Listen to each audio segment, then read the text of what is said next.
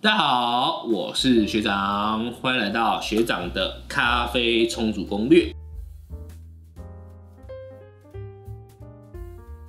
那我们今天要针对耶加雪菲这种产区的咖啡豆呢，来探讨如何把耶加冲得更香一点。那为什么会有这样的主题呢？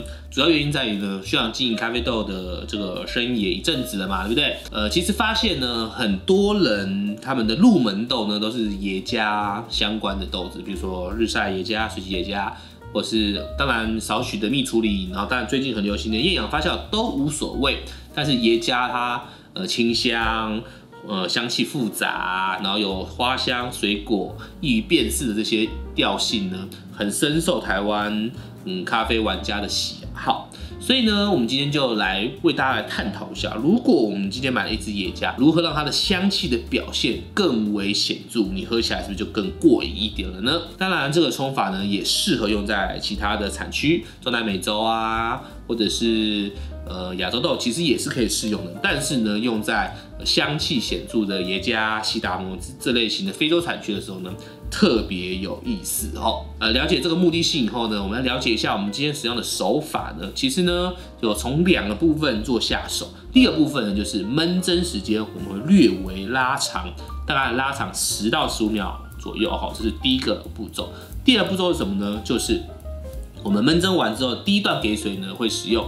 大水的中心注水法吼，这两个部分呢的交叉组合就可以让你的耶加雪菲喝起来特别的香喽。OK，好，那我们准备开始今天的咖啡冲煮攻略。那我们今天使用滤杯呢，当然就是以香气闻名的哈利欧 V 眼滤杯哈。那我们今天使用的是零一。好，那豆子呢，我们使用二十克。那如果你有平刀的磨豆机的话呢，香气呢会比鬼齿再强一点点哈。但是鬼齿一样是可以使用的。好，用二十克。然后研磨度呢，比一般的研磨度稍微略粗一点点哦。平常用四，那我今天用四点五。好，那我们磨完豆了哈。那我们使用研磨度呢，比一般平常使用的略微再粗一点点哦。我平常使用的是四，今天用四点五。好，那我们使用 B 六零滤杯。好，放下去以后，稍微压一下，让它服贴整个滤杯。好，倒粉。那水温，我们今天使用九十二度的水温哦，比平常需要使用的大约高一点点哦。那因为高一点的水温呢，可以让你的香气的表现呢，也在更显著一点点哦。所以需要建议大家可以比平常略高，你的香气呢会更显著一点。好，准备开始进行第一段的焖蒸。好，焖蒸的水量一样是四十 CC。好，开始。好，中间停留三秒，绕两圈，回中间。好，四十 CC 后，我给到四十三。多一点点很正常，对不对？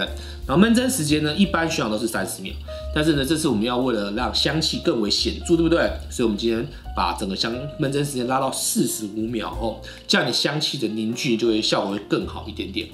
好，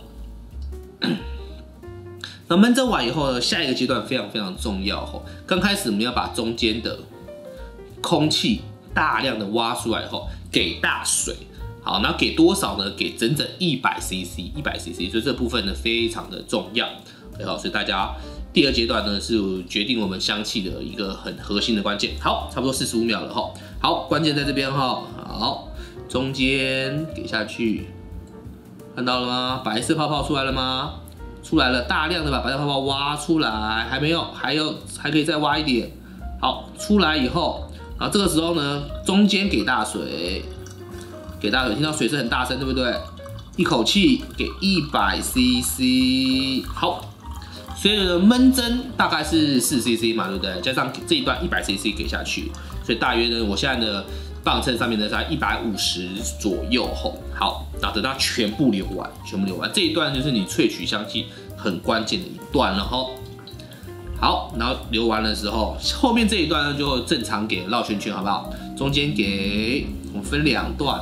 中间给，然后呢给久一点点，我们的空气都排出来的时候呢，再缓缓往外绕。这段就是正常的 V 六零冲法哈，给到七十五 CC，然后断一次水，然后等到全部流完的时候再做第二次哈。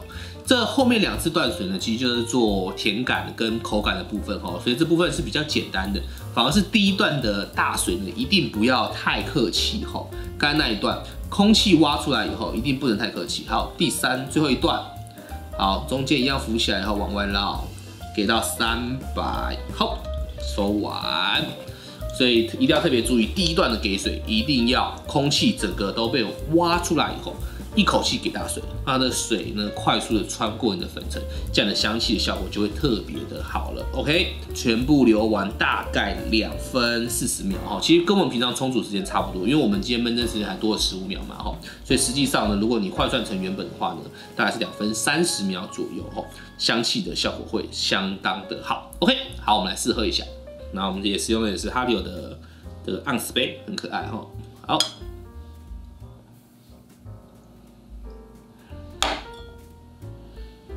嗯，远远就闻到很显著的花香哦。我今天使用的是日晒野加，花香气很很集中，而且呃复杂度蛮高的。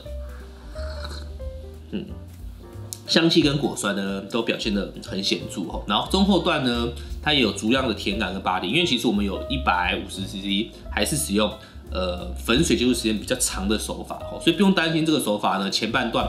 那一百 CC 会不会没有味道？反而是这一百 CC 呢，带出很多的香气跟酸质，那你整体喝起来呢，嗯，很有特色。后半段呢，用两次断水的方式呢，让口感跟甜感也做出来哈。所以呢，如果你是做耶加或者是西达摩这类非洲香气系列特别显著的豆子，用这个手法可以让你的冲煮技术再加分哦。OK，好，那我们今天的咖啡冲煮攻略就到此结束。任何问题，欢迎在底下留言，或是可以分享这个影片给你的朋友喽。好，那我们就下次再见，拜拜。